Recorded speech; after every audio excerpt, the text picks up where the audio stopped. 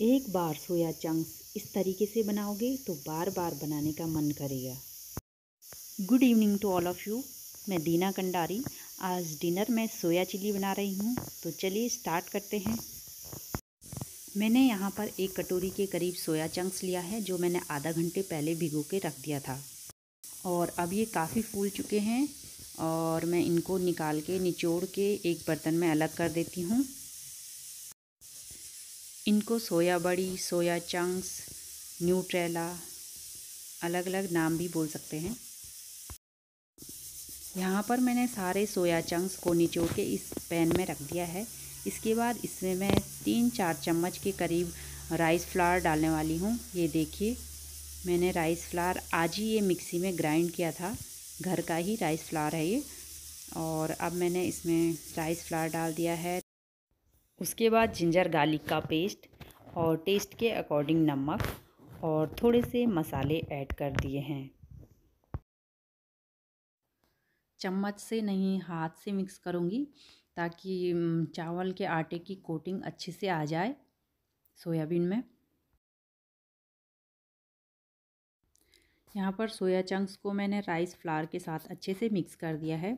इधर मैंने पैन चढ़ा दिया है और अब मैं इसमें डाल रही हूँ दो चार चम्मच ऑयल। थोड़ा इसको गर्म होने तक वेट करूँगी और उसके बाद इसमें सोया चंक्स फ्राई करूँगी। लो, अब ऑयल गर्म हो चुका है। इसमें सारे सोया चंक्स को मैं डाल दूँगी और फ्राई करूँगी। ये यहाँ पर सिर्फ़ दो तीन मिनट ही फ्राई करना है, क्योंकि ज़्यादा फ्राई करूँगी तो जल भी सकते हैं। ये ये देखिए कितना अच्छा कलर आ रखा है, देखिए।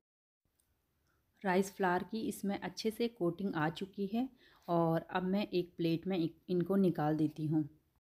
और अब इधर गैस पे चढ़ा दिए है मैंने कढ़ाई। उसके बाद मैं इसमें थोड़ा सा ऑयल डालूँगी, ज़्यादा नहीं, दो चम्मच के करीब। और अब मैं इसमें डाल रही हूँ थोड़ा सा जीरा और उसके बाद एक लौंग और दो काली मिर्च जो मैंने पहले कूट दी थी, उसको डाल दिया है। और अब इसमें डाल देती हूँ कुछ कटी हुई लहसुन। ये मैंने पहले कट कर दी थी। इसको थोड़ी देर तक भूनेंगे। थोड़ा इसमें ब्राउन कलर आना चाहिए। और अब यहाँ पर लहसुन पक चुका है मेरा। और इसमें डालूँगी मैं ये प्याज जो मैंने इस तरीके से काट रखे हैं। और उसके बाद मैं इसमें शिमला मिर्च ऐड करती हूँ, जो मैंने पहले ही कट कर दिया था। शिमला मिर्च ऐड कर दिए हैं। शिमला मिर्च और प्याज को अच्छे से मिक्स कर देंगे। और एक दो मिनट के लिए पकाएँगे इनको। यहाँ पर मैं टमाटर नहीं डाल रही हूँ। टमाटर का बिल्कुल भी यूज़ नहीं कर रही हूँ मैं यहाँ पर। मुझे यहाँ पर सिर्फ़ सब्जियों में अब सोया चंक्स इसमें डालना है। उससे पहले मैं कुछ मसाले और सॉसेज डाल देती हूँ। सॉसेज में मेरे पास सिर्फ़ टमेटो केचप ही है। उससे पहले मैंने यहाँ पर टेस्ट के अकॉर्डिंग नमक डाल दिया है और थोड़े से कुछ मसाले। उसके बाद मैं थोड़ा सा इसमें रेड चिली पाउडर डाल दूँगी। तो यहाँ पर मैंने ये रेड चिली पाउडर भी डाल दिया है। ये देखिए, थोड़ा सा कलर इसका अलग ही हो जाता है रेड चिली पाउडर डालकर। आप चाहो तो अपने हिसाब से आप चिल्ली पाउडर डाल सकते हैं, लेकिन हम यहाँ पर तीखा कम खाते हैं। तो मैं यहाँ पर चिल्ली पाउडर बिल्कुल भी नहीं डाल रही हूँ, क्योंकि पहले से ही मेरे पास मसालों में थोड़ा सा ऐड कर रखा था मैंने चिल्ली पाउडर तो मैं उसी से काम चला रही हूँ, क्योंकि बच्चे भी तीखा नहीं खाते हैं। और अभी मैंने एक मिनट ढक्कन रखकर इनको पकाया है, शिमला मिर्च और प्याज को। यहाँ पर इसी टाइम पर आप सोया सॉस चिली सॉस और विनेगर भी डाल सकते हैं। उसे बिल्कुल उसका टेस्ट ऐसा आता है ना, मंचूरियन जैसा। मैं यहाँ पर सिर्फ़ टोमेटो केचप डाल रही हूँ। मेरे पास सिर्फ़ यही अवेलेबल था। अगर आप यहाँ पर सारे सॉसेज डाल देते हैं तो आपका बन गया वो सोया चंक्स मंचूरियन। अगर आपको पसंद आए तो ज़रूर ट्राई कीजिएगा। और यहाँ पर डाल देते हैं हम सोया चंक्स, जो हमने राइस फ्लावर के साथ कोटिंग कर रखी थी। बस यहाँ पर सारे मसाले भी पक चुके हैं और वेजिटेबल्स भी सारी पक चुकी हैं। बस टोमेटो सॉस डालने के बाद थोड़ा सा इसको चलाना है। एक मिनट के लिए, ताकि वो अच्छे से मिक्स हो जाए।